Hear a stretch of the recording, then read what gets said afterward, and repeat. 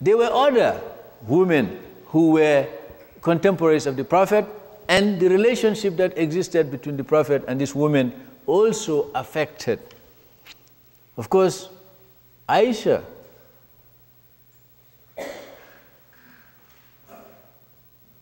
the wife of the Prophet, the daughter of Abu Bakr,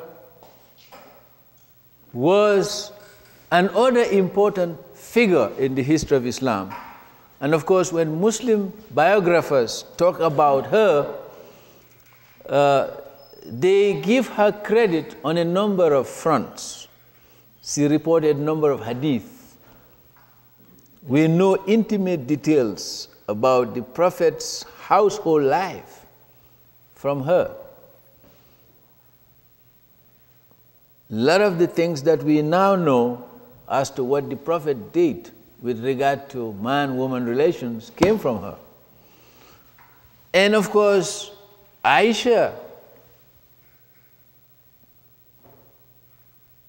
was also a person who represented this new woman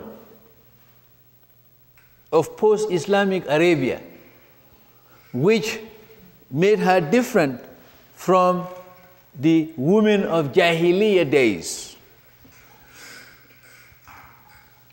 And Muslims who are interested in understanding the role and place of women in the time of the Prophet should study the biography of Aisha thoroughly so as to learn more about the sociological, psychological, cultural, and historical conditions that existed in Arabia at the time of the Prophet.